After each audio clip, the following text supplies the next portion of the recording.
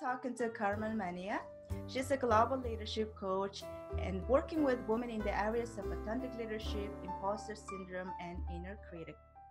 She's also a corporate mindfulness trainer, combining mindfulness, self compassion, emotional balance, and coaching as leadership tools. She is originally from Romania, currently living in Denmark. Thanks for coming to the interview today. Thank you for, for inviting me. How is going for you these days? I find less change around me. How about you? Mm. Um, it is a little bit similar in terms of, of work. In the same time, I think it changed a lot in the in the interactions with uh, with the people I'm working with and with friends and family. Somehow the the topics have changed and also a little bit more worries and and a little bit of different habits around me. So um, yeah, personally, it it is pretty much the same, but uh, still there there is a lot of uh, of a different uh, environment right now going on. Mm. Yeah, it's definitely a different environment. When you mentioned topics changed, so what are the main uh, pattern coming up? Worry, uncertainty, uh, feeling unsafe. There are some um, some topics that keep on popping up. It's a time of uncertainty and worry, and I'm sure that your clients are finding your service very helpful.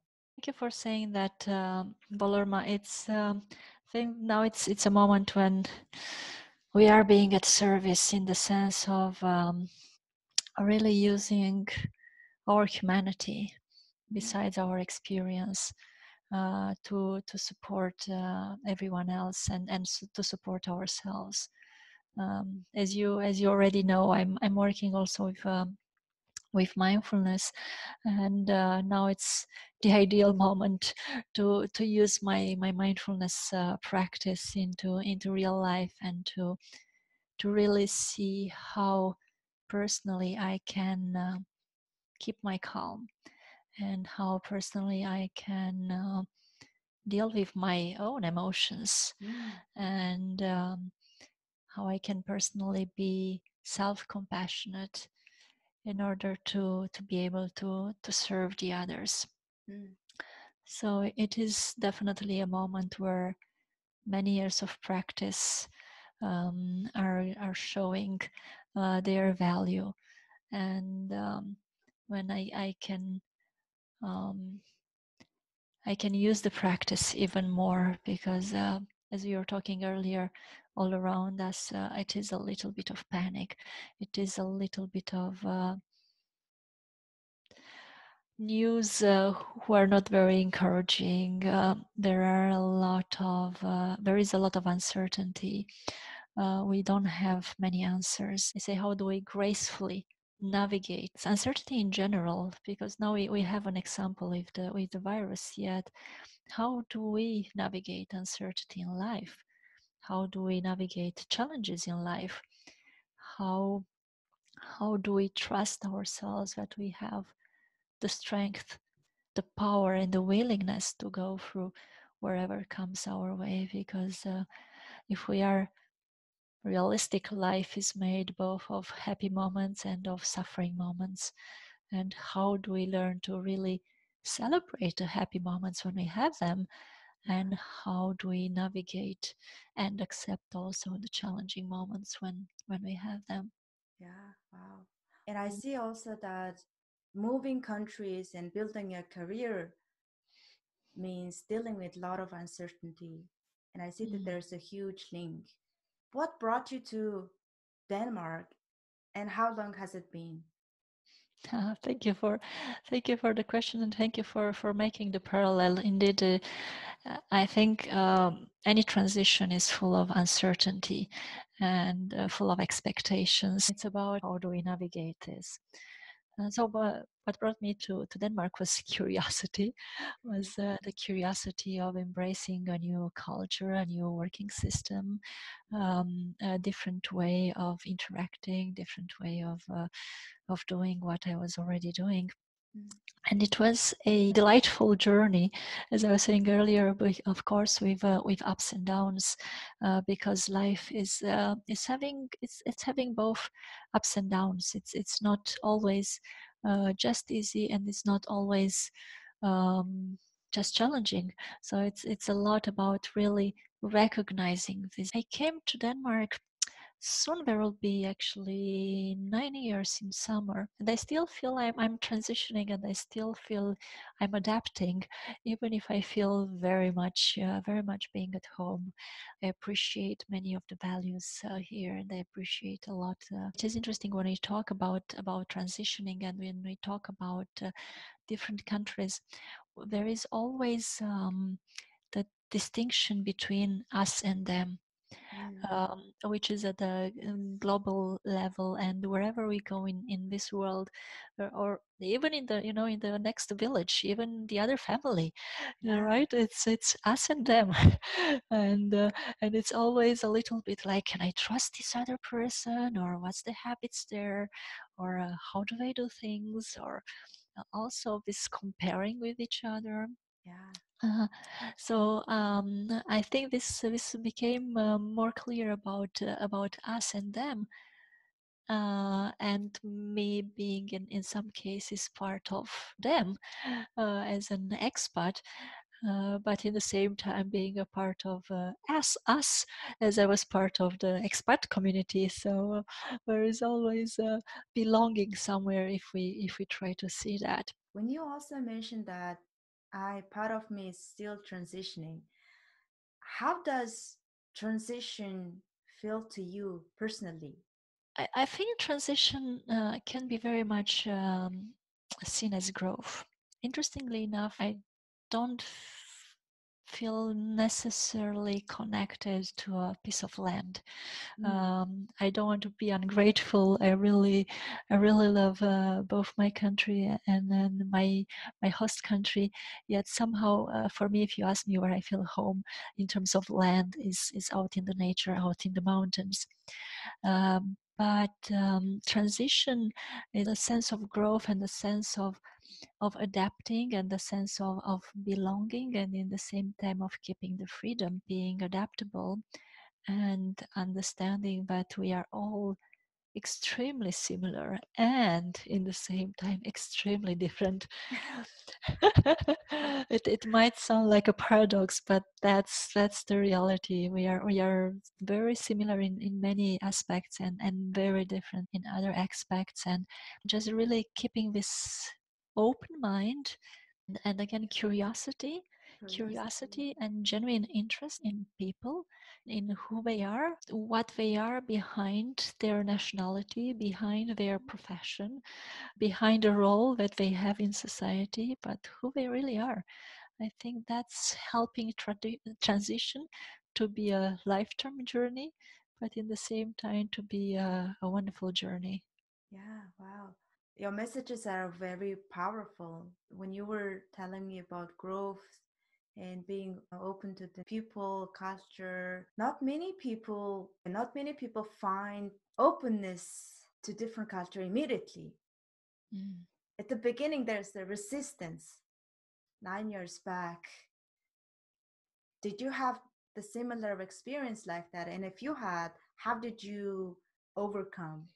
Yeah, it is very true, and uh, and indeed there is a lot of resistance. Uh, again, us and them. Uh, if we start even from the family, mom's family, dad's family, right? so different, and grandparents from mom's side and grandparents from dad's side. Yeah. I think what really helped was growing on my mindfulness path, on the compassion and self-compassion path, and understanding that actually people are not are not judgmental because they have something against, but because they try to protect themselves, because they are ah. afraid of, of the unknown. I found that more people trust themselves, um, uh, more people trust the others by allowing myself also to trust myself and to trust that it's nothing wrong with me if I'm excluded. And I don't need to fight back or to be angry with those people, but more to trust that that I'm fine the way I am. And maybe people haven't been exposed to to certain uh, groups or maybe people have been exposed to certain groups and and they have been disappointed in, in certain ways. So it's really uh, being more than empathetic but really really being compassionate and really understanding that people are doing their best with, with what they have in those moments mm. And I noticed that actually people that have been expats at their own uh, time in other countries, it was easier for them to embrace and to accept the, what is going on. Again, the exposure and them experiencing and, and getting used to different cultures and getting used to be the outsiders helped them to accept more. This was one of the things. And the second one was the fact that I was uh, immediately exposed to a very diverse group, to many, many nationalities. I think again, curiosity came into place yeah. and uh, uh, really the willingness to understand without being judgmental. Mm. And it's not always easy if it comes back to self compassion and to trust. Uh, once I was showing myself more self compassion, more trust was coming, and I could be more in the present. I could see the things the way they are without avoiding to see certain things and without making other things bigger than they actually were. This have been two important parts who actually have been growing me both both mm. personally and professionally because personally I could adapt this year. I could um, embrace more both uh, the locals and the international community. Professionally, really helped me to be able to work with people from, from all over the world, which has been a huge advantage. All this professional transition. Yeah, sounds like also your profession helped you become this very curious, open-minded, understanding, also compassionate person it's been nine years. Your business and your career is going very well, successfully. And throughout this journey, when you're building your career in a new culture,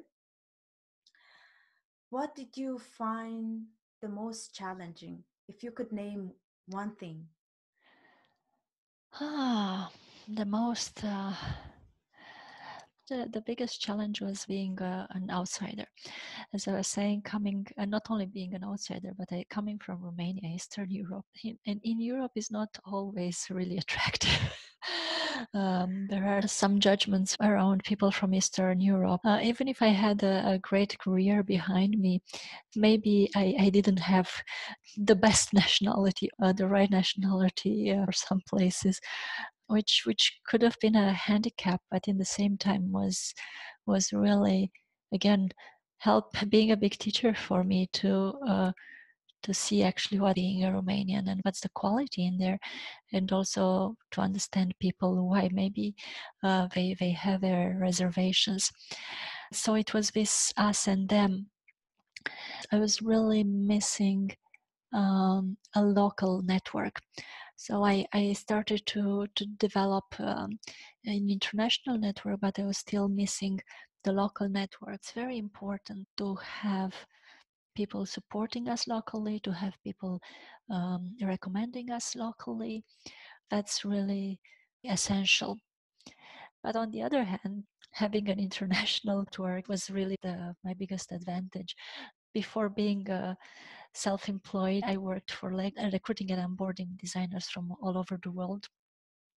Uh, this was for them the biggest dream to be designers at Lego, yet they had to relocate with their families. Informally, I was actually coaching them and their families um, adapting to a new way of living.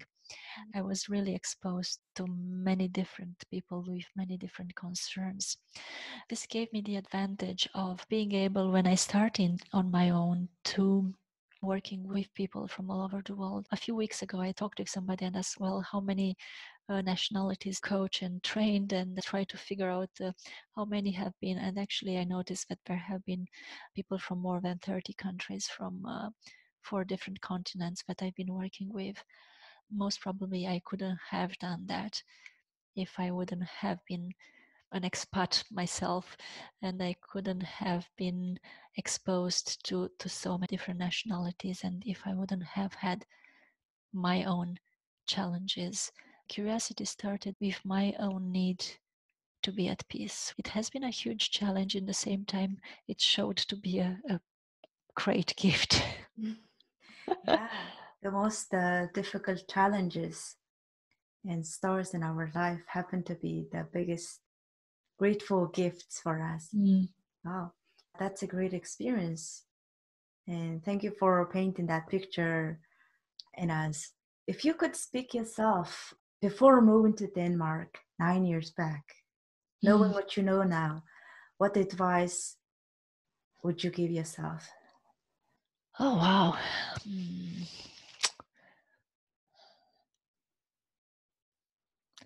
I, guess trusting myself more from the from the beginning. I was trusting myself, but I think I was trusting myself more professionally than as a person. Many of us nowadays we we are identifying ourselves a lot with our professions yeah. and many times we put aside who we are as a person if i would have just reminded myself that uh, yeah i'm a caring person i'm a courageous person i'm a curious person uh, that i have all the resources i need i think that would have made my journey a little bit easier. In the we, we all need to start growing somewhere. And I'm, I'm grateful i've been through all this and i could actually develop this these skills and i could mm, start seeing in myself um, who i really am without you know taking pride necessarily but really let's say being at home in my own company and, and with myself uh, really knowing that no matter what comes my way and again we connect to what's happening these days. Whatever comes my way i i have the resources to deal with everything. I have ways to also support those that are around me and to support also those that are far away. Even if physically we are far away uh, there is a connection that uh, is stronger than than the physical distance Carmen, you are equipping us with this amazing wisdom. I find your words very inspiring. And I think it's much needed advice and wisdom in this time of uncertainty. Thank you for sharing that. You say bringing different aspects of yourself to work and embracing yourself as holy, finding comfort in yourself. And as a mindfulness expert, leadership coach, what do you find the most meaningful in your work? It's so interesting to look back, and I'm really noticing how, how people start to notice the magic that it is within themselves. Uh, this last week, I had uh, a coaching with someone that I've been working for a year now, and uh, she was so sweet. She said, "Well, we have one year anniversary," and uh, and we really laughed. I said, "Yeah, definitely, we have to celebrate that." And was so interesting how she actually has been you know if you look at a flower which is like really closed and and how how she was really not trusting that much she knew what was in there but really not trusting it. And now she was all blooming even even through these uh, moments of uncertainty. She was like totally uh, blooming confident and and really knowing what she stands for and, and who she really is and having the power of loving herself and putting herself out there that was uh, extremely touching because again we are so tough on ourselves uh, these days. I work a lot with mindfulness in organizations but i also do mindfulness um, in the profession of, of coaching for example with coaches and coach many many leaders. The biggest challenge everywhere is this trust in ourselves mm-hmm. um, we maybe believe that we are good professionals, even if we have doubts there too. Mm. But the true trust in who we really are, the true trust that we have all the resources and all the potential. When I say potential, actually, uh, it's a little bit maybe artificial because we are born with all these things, but while growing up, we learn how to stop ourselves from a lot of things. We learn how to be tough on ourselves. We learn how to punish ourselves. We learn how to respond to certain stimulus. The path is changing so much, but we are actually born uh, being good. We are born being uh, happy. We are born. I usually give the metaphor of people are afraid of failure. And I'm giving the metaphor of babies who start walking right? Ah. So they walk and fall and walk and fall and walk and fall for so many times, and they don't say, "Oh, I'm so stupid. I'm not going to walk again ever." They just just stand up and keep on walking and laugh and cry and laugh and cry and keep on walking. And the same with, with adults. We, we forget that's okay to fall. We forget that it's part of the learning process. And, and even in the simple metaphor of, of walking, if we take it further, even as adults, once in a while we stumble on something and, and, and fall or skiing or doing something, you know, we, we end up falling. And this doesn't mean that we are not able to walk again. It's important to trust that failure is part of, of our journey. Or one of the reasons for which I work with, with the inner critic and with the imposter syndrome, because so many people they feel that I'm, I'm not good enough, or they are going to discover soon that I'm not as they thought. Or there is that critical voice who says, Oh, don't do that. That's dangerous. You might uh, fail. People might judge you. All they do, they try to keep us safe. Again, I, I use a metaphor and I say that they are like overprotecting parents. they, they try to keep us safe, but in the same time, by being so safe, we don't dare doing things that they really support and encourage people to to try out things, to try out to to trust themselves and to trust also when they fail, then that's okay. We all fail and to connect with each other. A lot of us think, oh, it's only me failing, it's only me suffering, it's only me having problems. Mm. Oh, we all have these ideas one way or the other. So it's it's so important to really know that we all connect through this and that we all have the ability to stand up and to move forward. And this is actually the resilience that we can cultivate and we can work with day after day, no matter what challenges come, be it uh, being an expert, being it being corona or being it suffering of, of something even deeper. We have the ability to to move forward one way or the other. I'm resonating with this idea that you find meaning in awakening magic in your client which is what you've just covered and trusting themselves really believing in themselves or who or what event awakened your magic in yourself or have you always been this way Oh, that's a very good question. Let's say maybe 15 years ago, I was really trying to do a million of things in the same time, trying to go as fast as I can, um, really not looking into myself, but uh, as I was saying, uh, how can I achieve quicker, faster, um, wherever I want to achieve. Um, and at the same time, I was able to really grow people around me. I was so supportive and I was supporting people to to develop so beautifully to expand yet i was not allowing myself to expand. Mm. um, i was finding so difficult to believe that it's okay for me to fail. It would have been okay for everybody else to fail but not for me and uh, but it is okay to love everybody else but not myself because i have to be tough on myself to, to reach the results. That was was not fulfilling was on the one side fulfilling but because i was i was doing great work with other people it was not fulfilling for myself that i was not able to do this work with myself. And the moment when i have been confronted with the idea that i as well might be worthy of loving myself yeah. was like oh really that was really really powerful and and i was kind of resisting in the beginning more i developed this um, self-love and not in a selfish way but really in an in an altruistic way i realized that more i can actually understand the others and more I can support others. So it has been uh, a transforming journey for for myself, and even if uh, deep inside I've been always uh, caring and then sensitive, and um, I was also very um, uh, goal oriented and and and uh, into action. Uh, but again, what was really missing was the self love, self care, and that for sure made the biggest difference in my own life and in the life of uh, of the people I'm working with.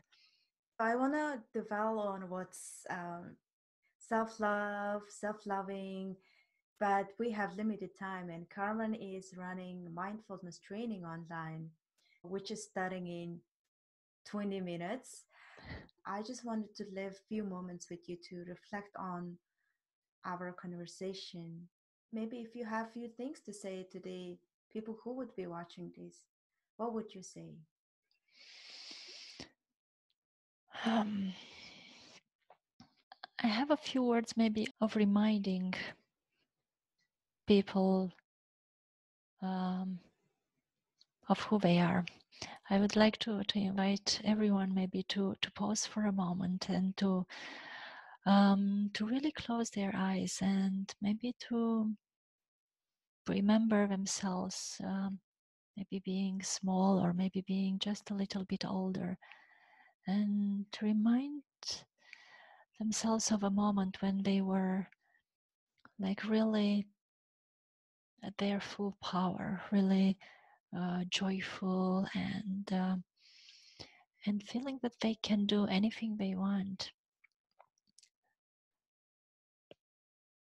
And could have been a child who maybe was doing something naughty but still thought that has all the power in the world, or could have been an adult who was taking a tough decision and yet still feeling empowered. Just really remembering a moment when you felt your full power.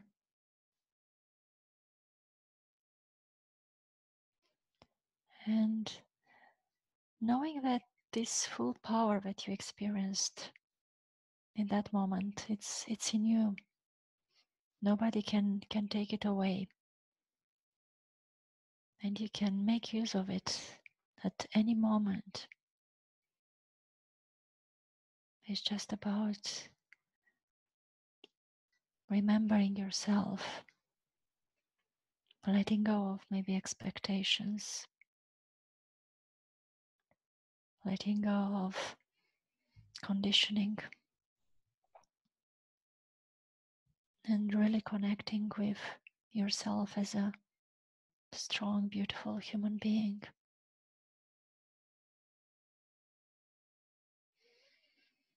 And slowly opening your eyes if your eyes have been closed, and really taking with you this power that you have, this strength that you have, knowing that you don't need to have your eyes closed, you don't need to make a visualization to to feel it. But just maybe you can sometimes just touch your two fingers and knowing that is is there for you. That's your magic formula for your inner power. what a powerful exercise. I feel really connected with myself, and I'm sure that the audience will find this exercise very uh, meaningful and helpful in their journey.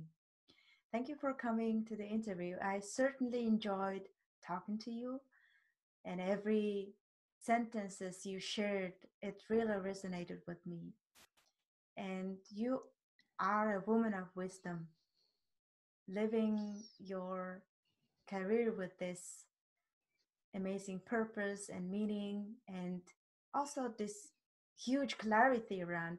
And you now you found magic in yourself, and you've been serving your clients to find magic in themselves and at what what a meaningful journey that's what i wanted to say Mm, thank you, thank you very much, Bolormaa. And uh, yes, well, I think I'm I'm a student, and I'll always be. Uh, and uh, thank you for uh, for being here with me and for being curious and and asking always questions. And thank you to anyone who who has been listening. Hopefully, uh, you get something that that resonates with you as well. And uh, yeah, stay stay curious and stay connected. You'll you'll find the magic which is there. yeah, magic is in us. exactly. Have a have a great day, everyone. Yeah, have a great day, everyone. See you soon.